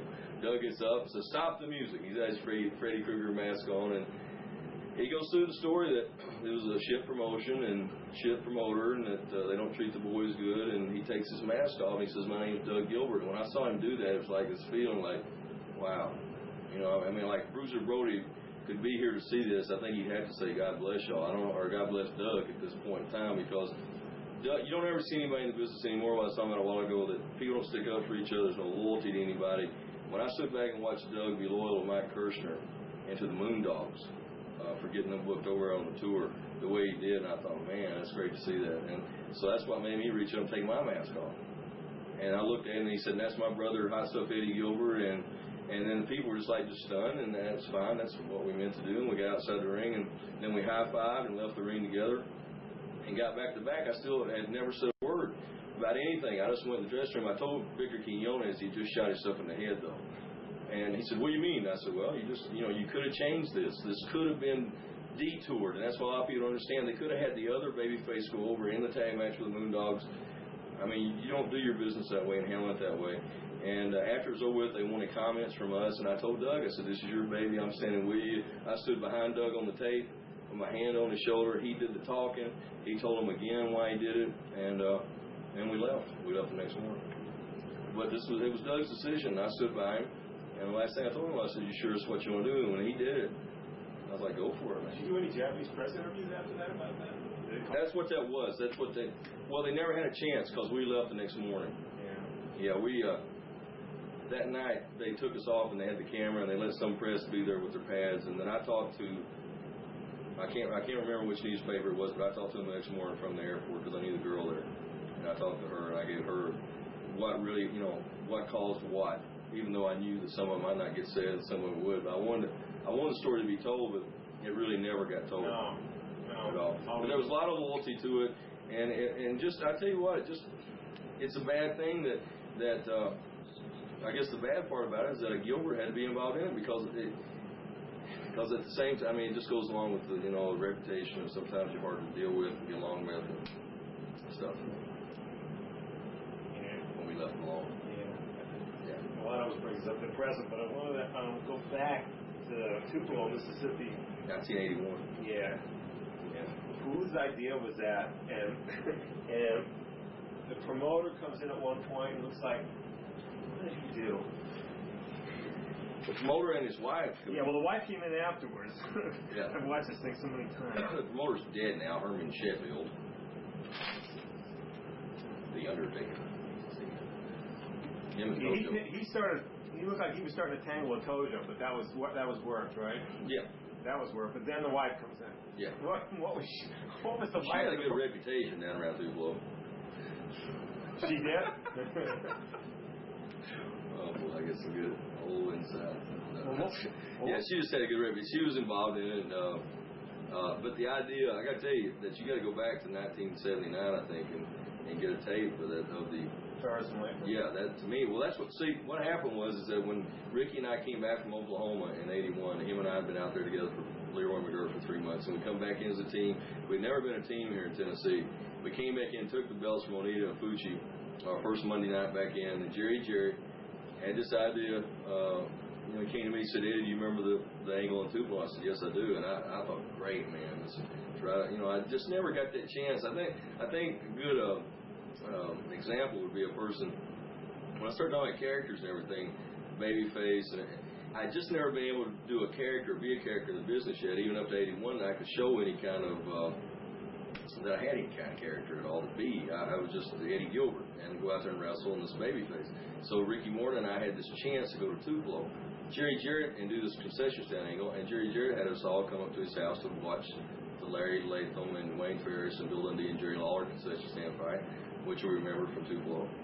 And um, we watched the deal. I knew about it. And what gets me to this day is I remember Onita sitting in the in, in the chair watching the thing going, oh, oh, oh, no. I knew I thought, well, this is gonna be hard. And Onita got his two front teeth knocked out during this thing, and and then he didn't have any teeth here, and he really looked ugly. And they shaved his head, and, and he was a pretty boy then. And I mean, he thought, and and he hated this. He didn't like bleeding. He didn't like getting cut in the stand deal. He didn't like getting beat up. He didn't like, you know, he didn't like the punishment. He didn't like dishing out either way. And uh, and, and it's great for me when I watch it now or, or think about it and knowing his reactions and knowing what he's been doing the past few years in Japan now with the bomb matches and the barbed wire when I knew that he hated this in the beginning. And uh, and then when and when we did the deal, it was just, I mean, we knew what you know what we was going. And when we got in the concession stand, just Katie bar the door, whatever we got a hold of, we got to use. And I mean, I was looking for everything. That's the reason why I was happy when I got the mustard bucket and got the because I remember them using that in the in the one with uh, Lawler and Dundee and them, and I wanted to make sure we got some good stuff in there. Uh, we couldn't really get too close to the popcorn machine because that was real expensive or something. Uh, but uh, man, I remember, and I also remember there were some boards that were laid in there that I was supposed to break over Tojo's head, but I got the wrong boards and I was trying to break them over his head and they weren't breaking. And they, he was going, God damn, God damn, ah, Eddie. He was he was mad for little Billy. He was off. I, I couldn't understand. I said, I'm trying, but it was the wrong ones. He had placed these other ones on down under the thing. And um, that that was probably the sorest I'd ever been the next morning. I'd never been anything like that. You know, I mean, my cactus stuff came ten years later, and I'd never been involved in anything like that, where you really take stuff and uh, because then it was like to make this believable, we have to hurt each other. Because Larry Booker, Larry Latham got like uh, 16 stitches in his head from that concession stand that night because Lawler picked up a board with a nail in it, hit him over the head, and cut it. And they just kept fighting in that deal. You never knew Larry was, I mean, he was cut and he was bleeding, but you never knew where it was from or what happened to him, really. And we knew that we, I mean, we had black, I mean, I remember having a black eye that morning from it, and it was Tojo popping us in the eye, me and Ricky both. If you ever see it, Tojo gets close to us and he's, he's knuckling us right in the eye with it. I'm going to watch there.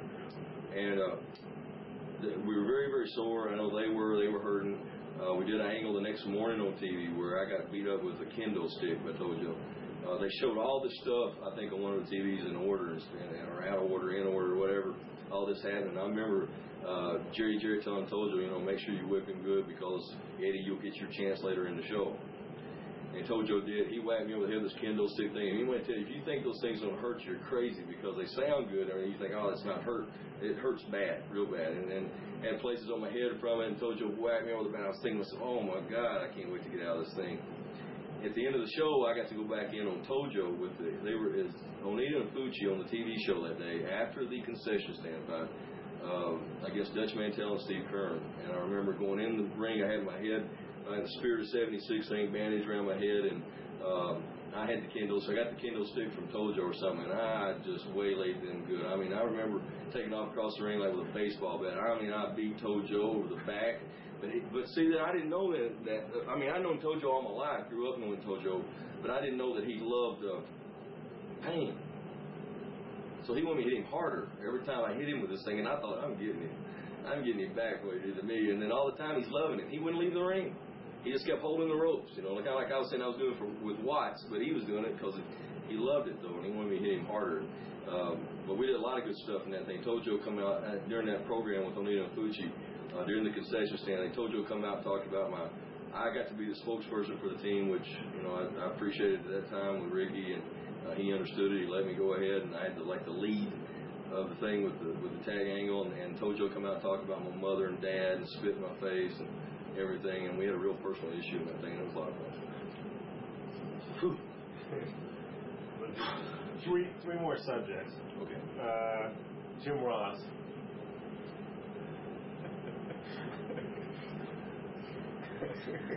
Or diet still anywhere? Uh, no. No. Uh,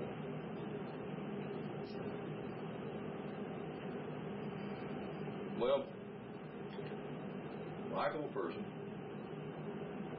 loves power. I guess everybody does, but I think I think that I, I would just hope that I would have more respect, that I would have more respect for my friends and people that uh, uh, worked with to get where I uh, became or, or came to be. Remembering those people and not try to walk over them uh, and stuff. And then you know, it, it, Jim and I, I mean, God, Jim and I go back to 1981. So what's bad about it in Oklahoma, and and and, and Jim actually helped me get the booking job in UWF. And I guess where Jim and I first started coming apart the seams as far as being friends was in '87 during the sellout of UWF. I kind of in my head, and I guess still do, even though he's denied it, and and he says that I'm wrong. And I, you know, I don't know. There's not any really proof. Jimmy Crockett's never told me one way or the other, so I don't know of, of what happened in that deal. I I really I heard Jim Ross too many times saying what NWA needs is me on TBS talking about himself as an announcer taking Tony Schiavone's place and everything. So I remember that when the sellout came. I got the call from Jim Ross about the sellout of UWF and uh, when it was coming and, and what it was about. And and, I, and he was the one that set the deal up. And I pretty much in the back of my mind always felt that, that and I took that kind of personal. I loved UWF and I hated seeing the people lose jobs and did and I never forgot it. And then we got to WCW, and he and he was a very good politician. He moved up uh, real good. He got he got uh, I guess you know he got under the right people. If he uh, Jim, if you let him get that foot in the door there, he, he'll sure get into the room with you. Like uh, Crockett got in with Jimmy, and uh, um, he finally worked his way into being on the booking committee. Got more power. I think there was a power struggle there between Flair and Jim Ross on the on the committee too. Uh, that came after I was gone. I think I was the first problem or whatever. And then uh, after that, and Jim's just Jim's had a lot of stuff involved in the personal and professional with me, so I don't want to get too much involved in him as far as opinions, but uh, he's been successful. I guess that's the bottom line. Okay, Medusa. Uh,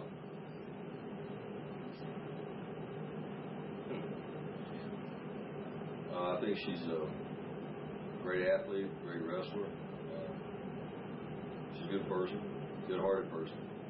I think her and I, I think the it was just a, a meeting in the wind or something with us. I don't know what it was, but it was uh, it was nice while it lasted, but it wasn't meant to be. It was uh, fun uh, getting to know her. I didn't really know her up until I met her in Philadelphia. Uh, I Goodhart shows, and we done a mixed tag together, and from there we kind of uh, were together from there on. And uh, uh, but she she's really a good person. I think she deserves uh, getting out of the business what she can, and uh, she deserves being you know make as much money and being as successful as she can. I, I'm really proud she got this shot with WWF too. And whatever happened with that debacle with that kid Gordon Scozzari up in somewhere in New England, an AWF thing where you were supposed to be the booker? And Yeah, man. Yeah, that was another weird story too. But it, I mean, it's very short, and, and I was supposed to go up there for the deal, and the whole thing was he sent me a plane ticket from that. The plane ticket I got, one of these cheap deals, and you know what I'm talking about. That was from Dallas. From it was from Atlanta to to uh, where it's Massachusetts, where we was going, and it wasn't from Dallas. And I was in Dallas on Friday night. I couldn't get. I took this ticket of his. When trying to change it, couldn't do it. Couldn't get there. Uh, I called the the first night that I couldn't get there. I called on the on the Saturday night late. I was on a hookup with Gordon and this other guy that was the. Uh, that was doing. He had he got all the cameras together and the lighting together. I can't remember his name right now, but he was the one that set it up between me and Gordon. He was on the phone too. I told him that I would fax them. I had already faxed them the TVs I had laid out, but they had said they hadn't got them, which I, I knew that I had faxed them to them. Uh, then I went in and faxed them to the hotel that night. Told them to call me the next morning, like on a Sunday morning. Had already missed the Saturday night. Uh, I said, prepay me a ticket on Sunday. I'll be there and clear all this up. I don't understand what the deal is with the ticket anyway. Why you couldn't get it from Atlanta? I never heard from him again after that night. And I knew then that uh, they had already talked about so many different people. Already said they'd do it, and four or five different people went up booking this show and all this kind of deal. And, and so everything got really just messed up on the thing. And it was just actually Gordon really not knowing what he's doing in the first place. And I was in Dallas, uh, booking Dallas at the Global thing, and Jeff Gaylord shows up, wanting a job. And I remember I, I'd done wrestle Doug in a match, and I was bleeding. I was tired. I was in the dressing room. I remember sitting like this here. Joe Pedicino was across from me. Um, the Johnson guy, that's the announcer, oh yeah, Craig. Craig Johnson, and John Horton, real name. So and, uh, Boni Blackstone's in the room, and I'm sitting there just with my head down, going, because we done two tapes, two tapings that night, and it was the last match, and I done laid out all the finishes, done the match, da da da da da da everything up to the end. I was very tired, drained, there. I saw Jeff Gaylord walking past and forth through the um, front of the room outside the entrance. And I looked out and said, What do you need? He said, I need to talk to you a minute. So I went outside, talked to him. He was exchanging stuff back and forth with me about wanting to come to work. I said, Okay. I said, and I started walking with him through the sportatorium dressing room. It's like a little maze through there. It's like three different rooms and stuff. We go from one room to another. And I remember asking him, say, you got one of my business cards. You got my number because he'd been calling Skandor Akbar for a job. And Akbar never told me the messages that he wanted to work on a Friday night or anything. And I said, do you have my home number? And he says, no, I don't. So Barry Horowitz, I remember, saying, Barry, will you run out to the car and get my uh, business card? He said, sure. I gave him the keys. He runs out through the maze that I just come walking through to get the cards. So Jeff Gaylord and I go walking back through the maze once again to back towards the front office room where I'd left, where I'd been with Joe Pedicino. And I had got in front of Jeff going through the thing, the dressing rooms. And I remember going through one of the dressing rooms open, and all of a sudden I felt this like battering at the back of my head, just punches. I didn't really know what was going on. I thought I just all of a sudden felt these punches. I remember turning around, trying. I didn't even know who it was. That's how baffled I turned around. I had my arm up, trying to block the punches to see who it was, and I saw his Gaylord. And I couldn't figure out what this guy. Why would Jeff Gaylord first off be hit me? Why would he wait till I turned my back? This big, fur, you know. Why wouldn't he just say, "I want to kick your ass" or something? I mean, don't. I mean, fight me. Don't. Don't just. I mean, sucker punch. I mean, man, that happens every day, and it's easy. But I turn around, and these. But I, I was on my feet. I had my arm up. I was trying to block. And the next thing I hear was USOB. And Doug came charging across in front of me, and I remember hearing this crack of a like glass busting. And I looked up, and Doug, and I, was like Cactus Jack. Uh, Doug had took a Pepsi bottle and hit Gaylord right in the head with it, and it just busted. And Gaylord started bleeding, and turned, and he ran out of the sportatorium. He jumped in his car through gravel. Doug chased him out. And I remember walking into the casino, and everybody, everyone at first thought it was a wrestling angle because I was always doing goofy stuff. So they just thought I was doing an angle at first, and, and no one really thought I was serious. And, I- and I stood there a minute because I, I mean, the punches were enough that at the first time I ever been lightheaded from punches. And uh, and Doug came back in and told me what happened. Then we found out Gordon Scozzari sent over a thousand dollars of uh, oh I think she um, uh, Chris Cruz uh, called me and um, Gordon Scozzari telling him that uh, yes he paid Jeff Gaylord to come and uh, uh, do the number on me whatever he's supposed to do. I always thought and all of us laughed later. A lot of the wrestlers and everything said that Gaylord was so stupid he should have come to me and said, "Hey, I'll give you 500 bucks if you will just you know act like it or, or tell him that I played you up two weeks or something." But Gaylord didn't know he's burnt out in the head, so um, he, he didn't know. And and then uh, so I went home and I, I still was a shock to me because I never thought. First, thought I thought I was past anything like that. I never thought. Then I got to thinking, man, just how crazy this business is. I thought, wow, at least I'm now getting to make sure I feel every aspect of it. Now I've been jumped went through the John Tatum stuff, everything, never a fight. Then I'll get jumped by Jeff Gaylord. And, and and so I remember getting home and, and Medusa and I were together, married, living together. And she, I remember getting real mad about this thing. And she was going, I think, Boston or some somewhere up there to work. And uh, she knew that he'd be at the show. And she told me, she said, I'll get it. And she did. Uh, she called him over to talk to him. From the, everything, story all stories I've heard is that uh, so there were some friends of his out there. She said she wanted to see him to talk to him, like she's gonna be real nice, and then she got him over there and gave him two or three kicks or something, and knocked him out or something. So I was real proud of that when I heard about it. I was real happy. So I figured everything got pretty well. And I'm working with Jeff Gaylord here, and, and Jeff's just I, you know, whatever. Yeah. Um, one other thing I wanted to ask you about is Sabu. Why is it taking him so in this country? Why do guys don't, you know, how come everybody hasn't jumped on him to try and hire him? I mean, I thought for sure for you, been the perfect guy. Well, he's got his Japan thing first. Yeah. I think the guys make it as complicated as they want to make it. If I, I, what I mean is making it the business and making problems. He's not making any problems. He's a great guy, and I and I like him a lot. And I and I, and I think he's a great. I think he's uh, he's a Cactus Jack, and we don't have the, the shows.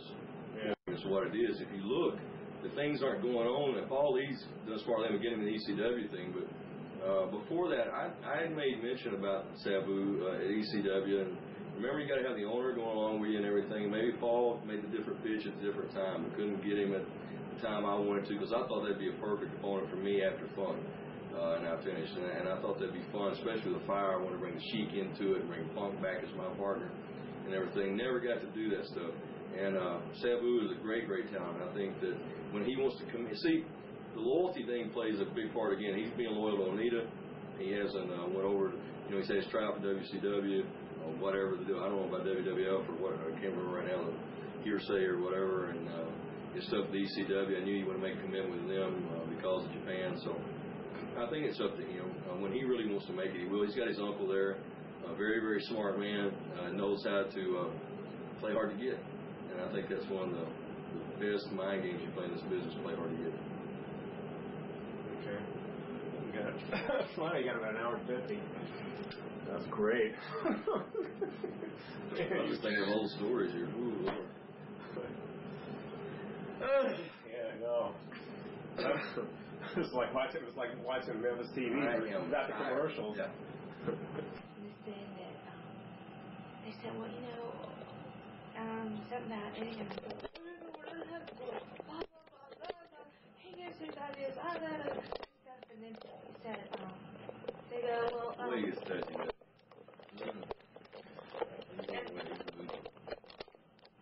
He's moving. Always moving. He saying, where did you hear that, blah, blah, blah, and he said, well, they go, well, well, we heard from Brian Elbert, and goes, no, we heard Eddie and wanted to smoke him out anyway, so, you know, said,